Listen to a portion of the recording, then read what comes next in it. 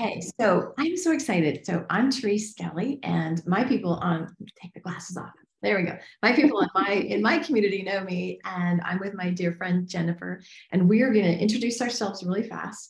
Then we're going to talk about a topic that um, you might be going through, and you might not understand it, and you might probably aren't digging it, right? So, so I'm Therese. I today call myself the intuitive business mentor. And what that is, I used to be a psychotherapist. So I blend all the background of psychotherapy, business mentoring for 20 years, and intuition and energy work.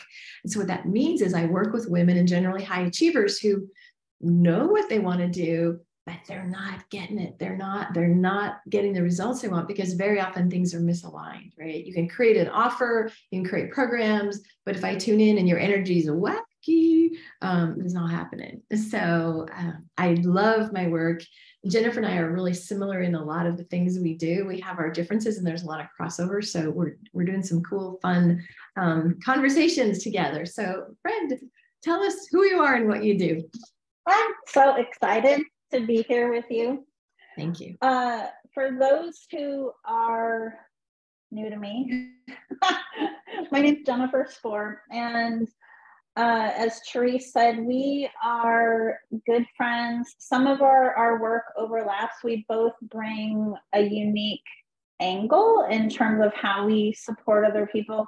So I'm a spiritual advisor and a channel, and I'm an Akashic Records uh, master consultant and instructor. I also teach the Akashic Records. And so I work with a lot of people, healers, coaches, visionaries, new earth leaders, creatives, right? Uh, people who are on the path less traveled. Those are the people that I support. And I support my clients in aligning to their deepest truth and to their highest aligned purpose and mission in this life. See why we work so well together? Yes, we sure do. we do. We do. So, Jennifer and I, um, have a little program that starts next week and it's called Next Level Expansion for those soul led business owners who know they are called for more. And so we're doing some little teaching about expansion because I'm thinking if you're in our communities, you understand that word, right? But what we, we talked about is that it's not all fun and games and unicorns and fairy dust and you know um, yeah. So when you think of expansion most think people think yes next level cool.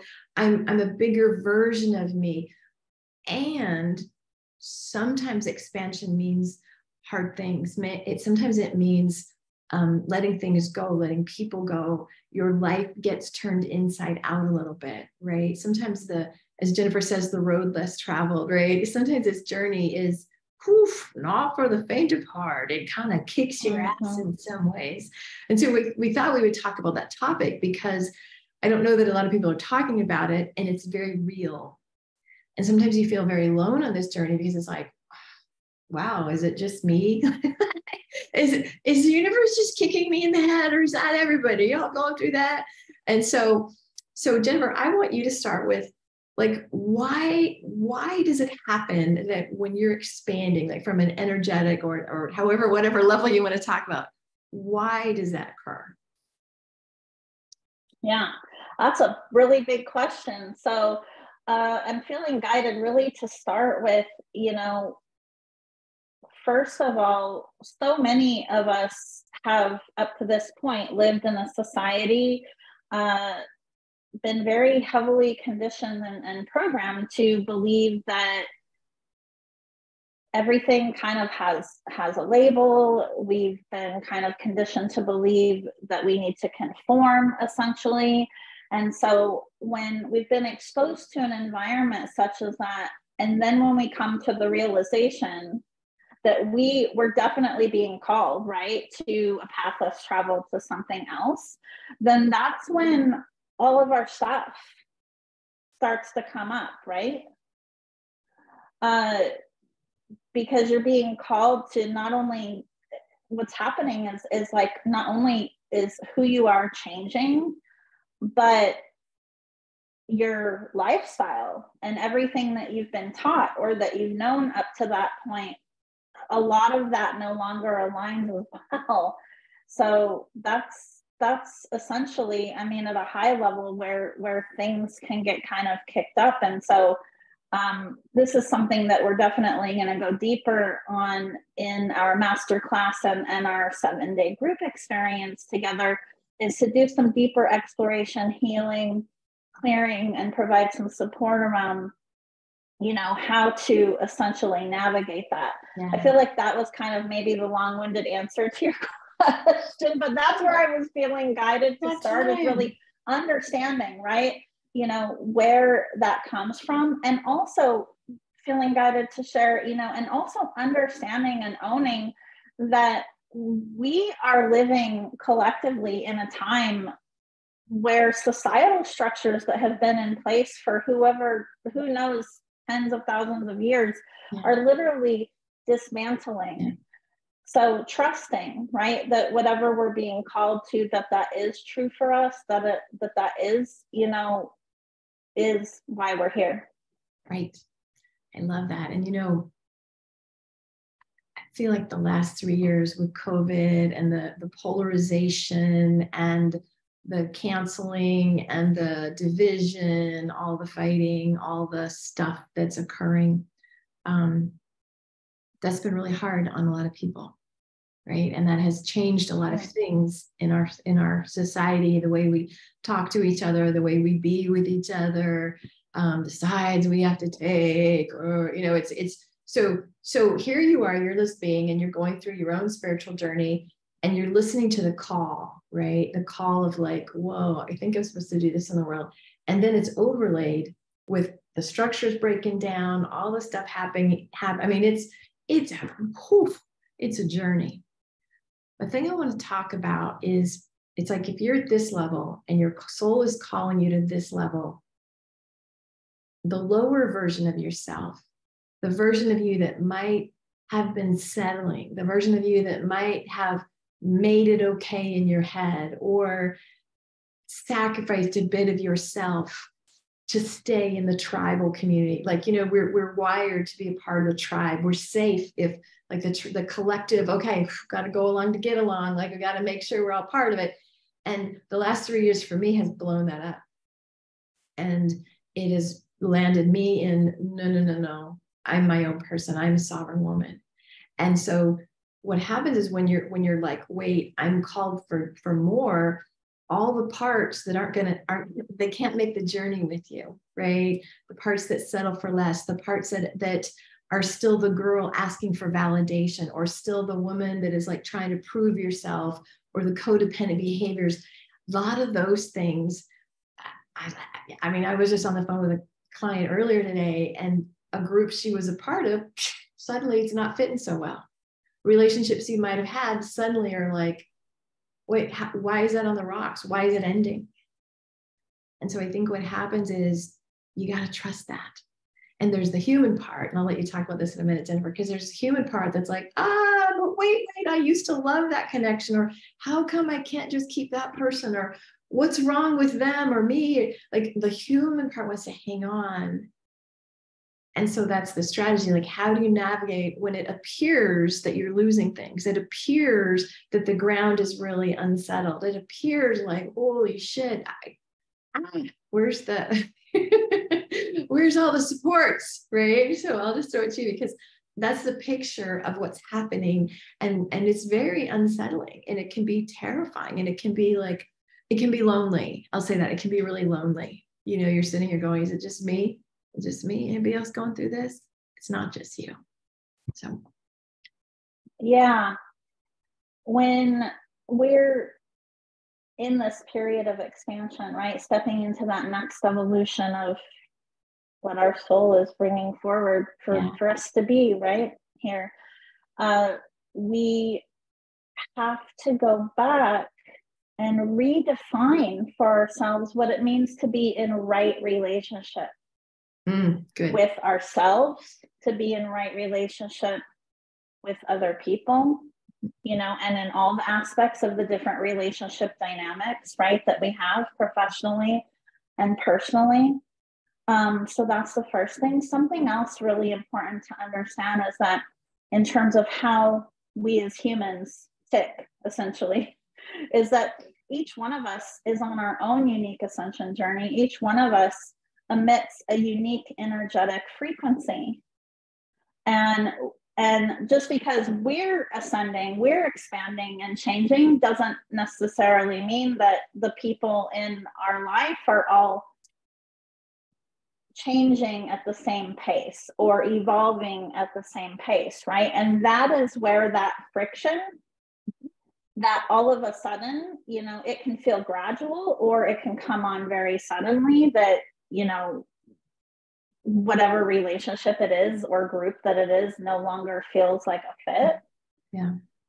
And so that and, and so resolving that, right? Moving through that goes back to what I said a moment ago about going back to look at who you're becoming, right? And redefining what it means to be in right relationship with the people that are in your life. Does it fit? Does it no longer fit? And obviously being clear on what your core values are mm-hmm. is really important to that too. Being super clear on our values makes it makes a journey that can feel difficult a lot easier because it's easier for you to go, oh, okay, these are what my values are now. These are how my values have changed. And it either fits or it doesn't fit, whether it's in a relationship, in the work that you're doing in your business, or anything else. We are conditioned to believe, the human part of ourselves is conditioned to believe that everything that we feel a conflict around has to be complicated, and it isn't. What makes our journey more complicated is our questioning of our own intuition. So. Knowing not only being clear on your values, right, and who who you're becoming and how that relates to your lifestyle and your physical reality, uh, but also knowing what that intuitive voice sounds like, feels like, what truth feels like in your body, to use that as your north star to continue navigating, confidently navigating forward. Yeah. This path that you're paving. Nice. I feel I feel like like this is like Debbie Downer. Not Debbie Downer, but it's the truth, right? It's, it's like in order for us to exactly. And exactly. that's the thing too, is you know, the personal development as a whole, and even in spiritual communities, uh, perpetuates toxic positivity. I lied. Gotta be uh, ascension. Ascension is about balance, right? Mm. And the path to living in true freedom, to living in true joy, comes from our willingness to be with all aspects of ourselves. That's brilliant. And you know, I look at nature. Very often before creation is destruction. You know, like forest fires rage through, thus giving new life, right? Things have to die or go dormant for a time to be reborn and resurrected. And so I feel like you're right. We love the we love the high high, like woohoo, I hit a new goal, but we don't relish the journey, the dark, the underworld, the part where it's like this is sucking ass. This is really hard. And and here's how I've navigated it, right? I'm a huge believer of have all your feelings. Have your feelings if you feel grief, like I've lost relationships, yeah. I've had things shift, I've had to let go of things that are no longer like, whoa, that was where I didn't see that one coming. Okay. And I feel that I feel all of it. I give myself the permission because if you, you know, toxic positivity, you don't want to stuff it. You don't want to go, okay, divine order. Yes. And mm-hmm. your body's holding feelings. Your body's got a bunch of emotion. You have to process that and release it. For me, are you coming from scarcity or abundance? Because if you lose something, if you have a scarcity mindset, if, if this thing ended or that relationship changed or that job ended, if you have a scarcity mindset, you'll you're uh, paralyzed and you're helpless and you're going to be a victim here. Whereas if you have an abundant mindset, like okay, something better will be coming. I trust and know. So that's how I always navigate this. Like that was freaking weird, and I, I I live my life by source and divine order. So even though I can't understand this, I'm saying yes to what to allowing whatever. That's how I do it. So how do you, Jennifer? You're probably the same, but how do you how do you like it is yes. Tools? Yeah. When you talk about either scarcity or abundance, right? Similarly, it's it's either helping me or you know nurturing my journey and my evolution or it's hurting me right? Mm-hmm. Very simply. Yeah. Or a question i like to ask a lot whenever i'm faced with decisions or scenarios like the ones we're talking about saying does this bring me closer to who i want to be to where i want to be or does it take me further away? Very simply. It's never in the middle. It's either one or the other and whenever we feel confused or indecisive, it's because we're struggling to reconcile who we're becoming with what we've conditioned to believe is is real, right? Like relationships are a fantastic example to use in con in this context because um, especially family, we'll say, because you know we've lived in a way that well, that person's my dad, or that's my mom, or that's my brother, or my sister, or my cousin. And so it's like they kind of have a free pass card, right? For, you know, whatever they're saying, however they're showing mm-hmm. up, because they hold that label. Uh, but sometimes we have to move beyond those labels right and and even in those instances be willing to be truthful with ourselves about well how does this relationship align right? And then looking at you know is it bringing me closer or is it taking me further away? That's so good. And i i think another one is we all create stories in our head. My story is always i remember um, before this before my relationship today I, I got dumped very quickly very surprisingly and i was shattered. I was shattered i mean i yeah. did not see that one coming and I felt all the feelings. And my initial story was a really harsh one. Oh, I got thrown away again. You know, what's wrong with me that this man, like I was in this story, I was in my wound.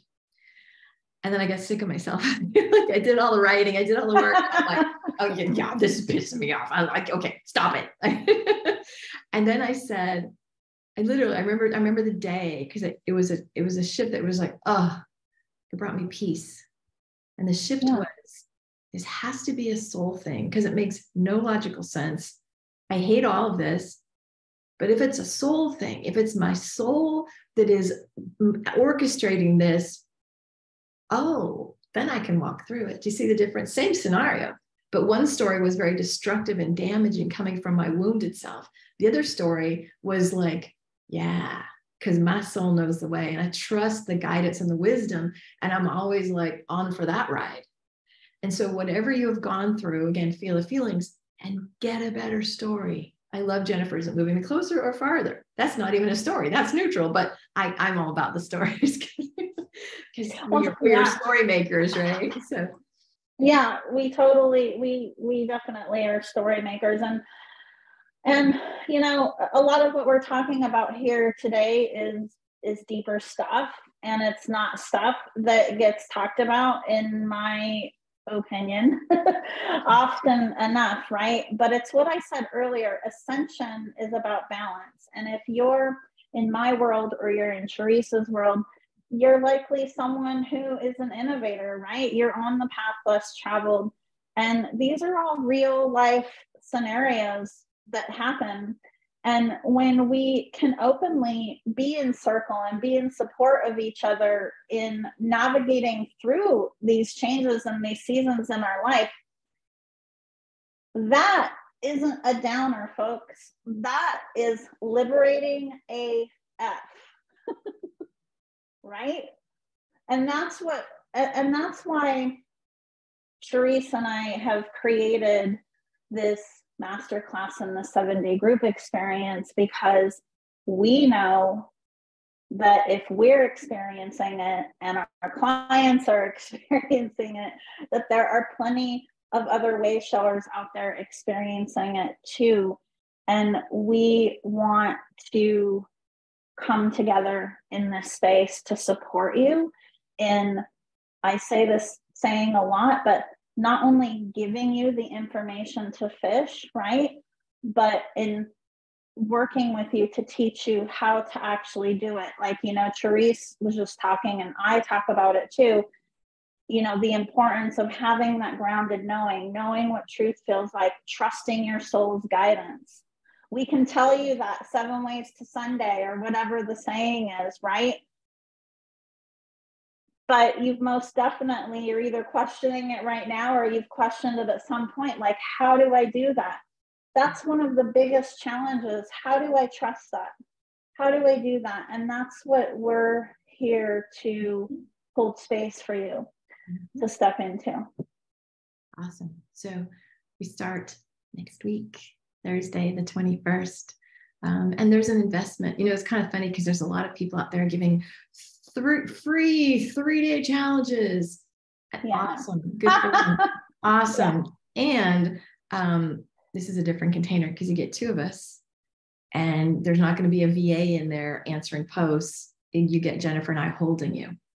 And so for only $55, basically you get an intensive, immersive week where you're going to get our teaching, you're going to get clearings, you're going to get work on identity and next level stuff. I mean, there's there's a lot because we are kind of wizards in what we do.